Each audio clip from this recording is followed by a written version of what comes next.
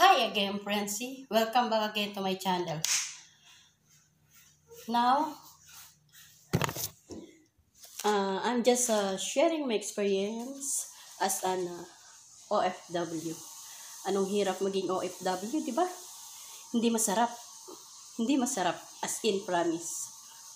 Kaya, mga advice ko lang sa iba, mga nagpaplano, pag-isipan nyo ng 1 million times. Lalo't kung ang trabaho nyo sa bahay, nakakaiyak. Alam nyo ba yun? I have an uh, extra angel here. What do you want? You have to ask mommy. And then, if mommy say, yes, you can come back and eat here. Don't shoot your brother. Okay? If you want to eat that one, you have to stay. You have to stay here in the kitchen. Why? Because I don't know how many chips. Okay? After that, Ryan, But you can count it. only three. I count already. You have to ask mommy, is it okay? You will take from the green plastic. Yan ang aking extra angel. Di ba? Now, balik tayo. Balik tayo. Balik tayo sa pagiging OFW. Lalo na sa panahon ngayon ng Ramadan. Grabe, di ba? Ako nga, natatapos ako dito sa kusina. Kasi ang kainan nila pag Ramadan, alas 7 ng gabi. Lahat yan sila. Lahat ng Arabian people. Pag Ramadan, hindi nakain sa araw. Ang kainan nila, alas 7 ng gabi. Pagdating ng, ano nang, yung tinatawag nilang putur. Alas 7. Hindi nga nagluluto dito, bihira lang magluto ang amo ko. Kaya lang, yung pag-init-init ng pagkain, alam nyo, yung mga pagkain ng mga Arabo, mabusisi, isang putahe lang yan, pero limang kaldero ang gagamitin yan. Yan lang hindi ninyo alam. Huwag kayo magpapaniwala sa iba na masarap ang buhay bilang katulong. Alam nyo ba yun? Huwag kayo magpapaniwala. Kasi, ako mapuprove ko yan. Marami akong mga nahawakan na kaso. Hindi naman ako, ah, hindi naman, yung ibig ko sabihin, nag-monitor ako ng mga kapwa ko kababayan kasi naging voluntary admin ako ng mga minamaltratong katulad kong katulong sa bahay. Ilan ang nahawakan ko? 20. Lahat sila umiiyak, naghahalo ang sipon. Ako dito, hirap din ako dito eh. Hanggang third floor, apat ang alaga ako. Hirap din ako. Di, dinadaan ko lang sa enjoy. Hirap din ako. 'Di ba? Kasi kung mananatili naman sa Pinas, mas lalong mahirap. Kasi walang kayang magpasahod sa iyo ng nasa 20 mil bilang isang katulong. Wala, hindi ka pa magkakaroon ng wala ka pang aircon. 'Di ba? Pero syempre tayo mga OFW nandito tayo mga katulad ko, mga katulad kong DH, kung saan tayo nagmula, mananatili lang tayo doon. Kasi hindi tayo habang buhay malakas. Hindi habang buhay na tayo ay ano. Tsaka walang, walang DH or OFW na tulad ko na yumayaman. Nakakaraos. Yan, meron.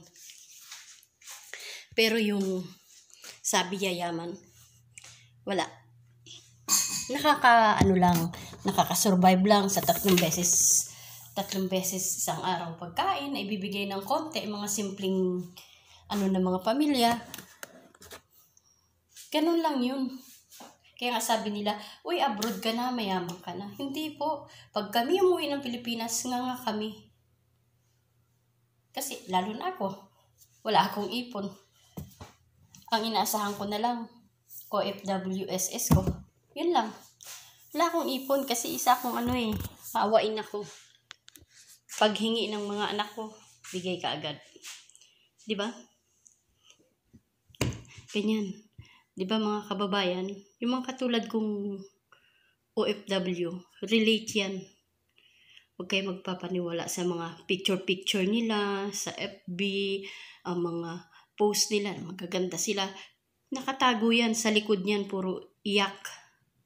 Kasi ibang ugali. Lalo na yung mga lokal, yung mga tao talaga dito. Ang amo ko nga, limang taon na ako dito. Mabait ang amo ko, pero may tupak yan. Kasi hindi naman ako perfectong katulong eh. Sa dami ng trabaho ko, may nakakalimutan ako. So, sermon din yan. Sino ba naman ang... Pag nasisermonan ako, naimik ako. At kahit anong bait ng amo, may panahon na may sumpong.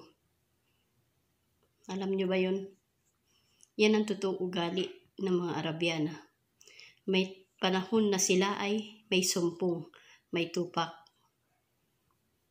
Hindi totoo yung sabi mabait, mga ganyan. Hindi rin totoo yung pagsisilbihan ka ng amo. Hindi rin totoo yun. Bakit sila kumuha ng katulong para si amo ang magsisilbi sa'yo? Bakit sila magpapasahod pa ng 400 US dollars kung ang katulong ang pagsisilbihan ni amo? Mga pakagat lang nila yan. Ang mga first timer, pagbaguhan, mabait ang mga amo. Si Evelyn Rosero, alam niya yan. Nagkukwento nga sa akin eh. Sabi niya nakikita ko na ugali ng amo ko unti-unti. Sabi niya sa una mabait. Mga kaibigan ko ganyan. Ganyan ang ano nila. Unti-unti lumalabas. Hindi yan biglaan. Unti-unti yan. Yung kusakan pa yung sa orasan, yung alam niyo yung kamay ng mga orasan, yung minuto, segundo. Kada ganyan yan, makikita mo pagbabago ng ugali ng amo. Hindi yan yung bigla. Makikita mo yan. Kung ito nga, limang taon na ako dito, mag-aanim na taon ako. Pero hindi ako nagtitiwala. Never ako magtiwala. Nagtatrabaho lang ako kasi kailangan ko kumita. Pero never ako magtiwala kasi may tupak yan. Minsan nag-aaway ang mag-asawa kong amo. Pag nag-aaway yan, pakiramdam ko pati ako karamay. Kasi mga hindi nakangiti eh. Lahat nakasimangot. Nagsisigawan. O di ba?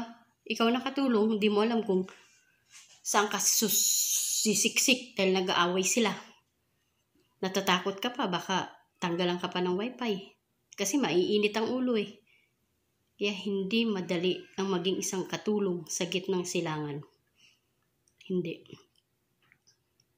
Nananatili lang ako dito kahit hindi tinataasan ng sahod ko kasi kilala ko na ang mga tupak nila. Alam ko na yung mga ugali nila. Di ba? At saka, pag inayawan na nila ako, at hindi na rin kaya ng katawang lupa ko, mag-stay Pinas na ako. Hindi na ako mag-abroad anymore meron akong naipundar na sabihin man natin maliit ang kita, meron ako sari-sari store, uh, maliit man ang kita, pero okay na yun eh. Hindi na ako maglalabada, hindi na ako magpaplantsa. Kaya dapat tayong mga OFW, kung hindi tayo makapag-ipon ng pera, mag-isip kayo ng magandang negosyo. Yun lang. Ayan ang alaga ko. Another one angel. O siya, huwag kalimutan like, share, and subscribe. Paki-click ng bell button. Okay? O, sige na. Sa muli.